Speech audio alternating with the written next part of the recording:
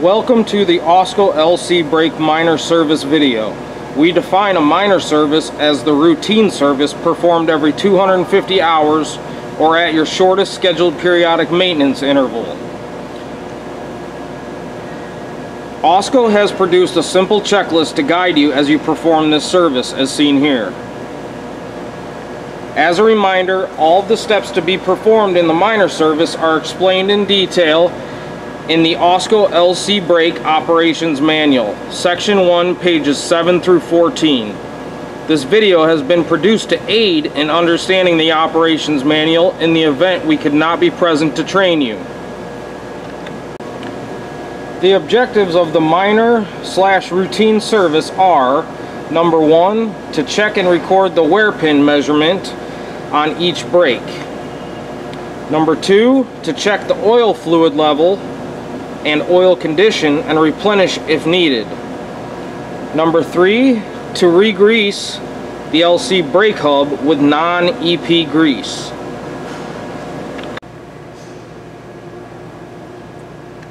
Number four, to check the fluid level of the premium pump pack reservoir and top off if needed. Number five is to check the master cylinder reservoir's fluid level. Prior to starting the checks and services, you'll need the following tools. A digital depth gauge to make the wear pin measurements, a flat blade screwdriver to assist in the removal of the wear pin, an 11 16 inch wrench, socket, or spanner to remove and tighten the oil level port plug, a flashlight to check for leaks and observe fluid levels, and a manual grease gun filled with non-EP grease to replenish the grease in the grease barrier. Prior to starting the service, ensure that the LC brakes are applied with no power being supplied to the premium pump pack. There should be no lights on on your control panel here, and there also should be no keys in the ignition. Okay, so at this point, you should have your parking brake applied or set uh, so you would not be able to remove, uh, turn the hub at all. Um, and we're going to check the wear pin height, which is behind this plug. So first thing you're going to want to do is remove the wear pin plug and then clean the top surface of the wear pin bore. Um, the wear pin plug can be removed by prying with a screwdriver or other flat tool. The park brake must be applied for an accurate wear reading. Measure the height of the wear pin face to the top surface of the wear plug bore on the end plate face. If the pin measures 6.48 millimeters or less, the brake is worn and requires rebuilding. So now, I'll show you how to do this real quick. Take a flathead, stick it in there, pop that out, it's just an O-ring plug. Set it up here, take a rag or whatever and, and wipe your actual pin face off. Make sure it's clean. Then you're going to take your digital depth gauge, okay, and you're going to put it on the hub and push all the way against it, verifying it, zeroes out on the hub. Um, the hub is a perfectly flat face, so it's a good place to zero it. As you can see, I'm zeroed. Now you're going to take your pin and you're going to put it between the middle and the outer edge of the wear pin.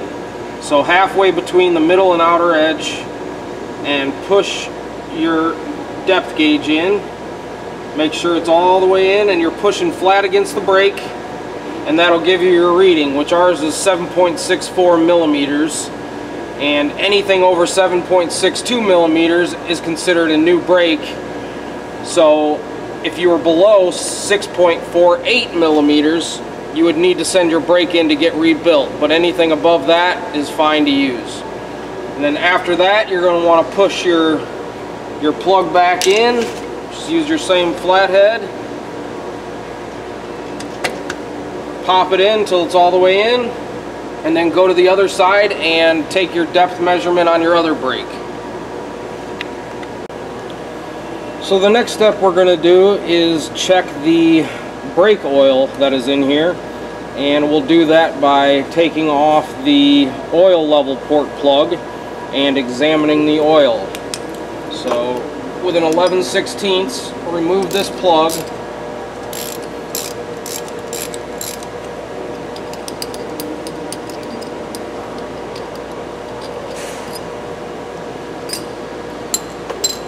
Take your flashlight and shine it in and your oil should be right up to the threads in this oil level port plug. If the oil is milky, you're going to want to change the oil and replace the seals. Water intrusion is the likely cause. Oil can be drained through the drain port on the bottom of the brake, which is right down here. If the oil is thicker than normal or if any sludge is present, change the oil and replace the seals. Grease in the oil will degrade performance. Brake may require rebuild depending on severity of contamination. If you put your nose up here and you, the oil smells burnt, you're also going to want to change the oil. If there's medical, metal particles in the oil, seek service. Brake may need to be rebuilt or replaced. When refilling or adding oil, add Ausco LC brake oil at the fill port, which is right here, until it reaches the level port. It'll rise up until it reaches the ear. Now, an important note is using fluids other than the Ausco LC brake oil will affect brake performance, creating hazardous conditions.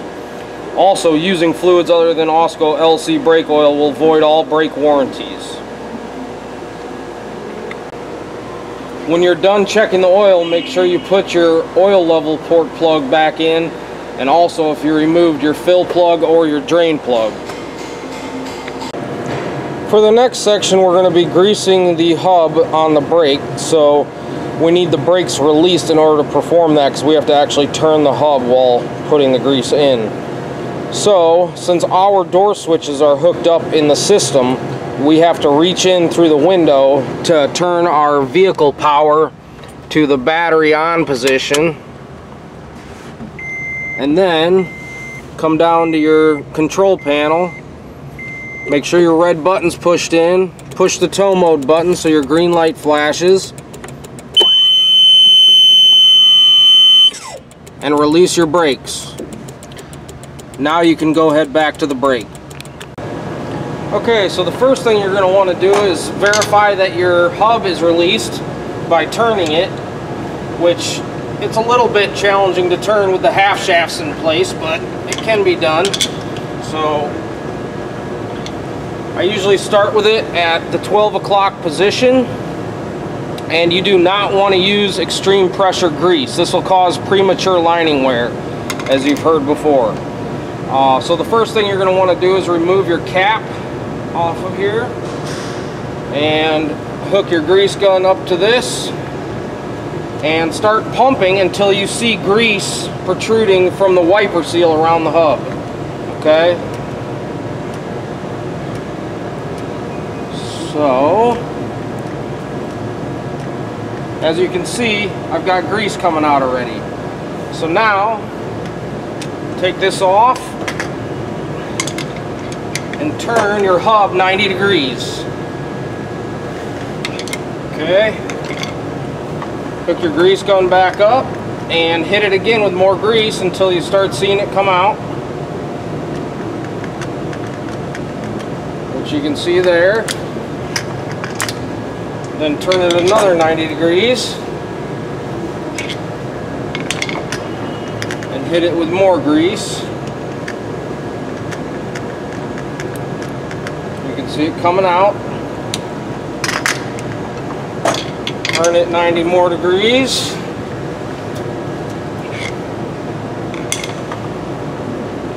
Hit it again. Little grease comes out. It's coming out. And then you're going to finish by turning it 90 more degrees back to the position we started in and hitting it one more time. Now, if you see when you're pumping grease into here, if you see water coming out, uh, you're going to want to keep putting grease in until all the water is flushed out from the grease barrier. Then when you're done with that, you can take a rag and wipe up all the excess grease. Put your red cap back in and go do the other brake. Alright, so the next check you're going to want to come back into the cab of the vehicle and check the premium pump pack, remove the cover plate on it if you haven't already done so. And what we're going to do is look at the reservoir over here.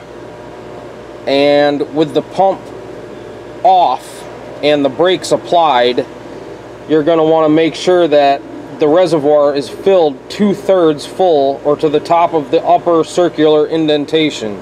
As you can see, that second dimple up in the reservoir, uh, I got the fluid filled right to it, okay? Now, if the pump was running, the fluid would be a little lower because it's circulating through the system. That's why we say to have the pump off when you're checking this. In operating environments that are above zero degrees Celsius, you want to use Dexmerc ATF fluid. Now, in environments that are below zero degrees Celsius, please use Kendall Glacial Blue in the reservoir. At this point, it'd be a good idea to check that your brake fluid reservoir at your master cylinder is also filled to your max line. Now please make sure that you've done all the checks to both brakes on the vehicle because by performing these simple checks at each scheduled maintenance interval, it will help to ensure your Ausco LC brake system is ready for your extreme mining environments at all times.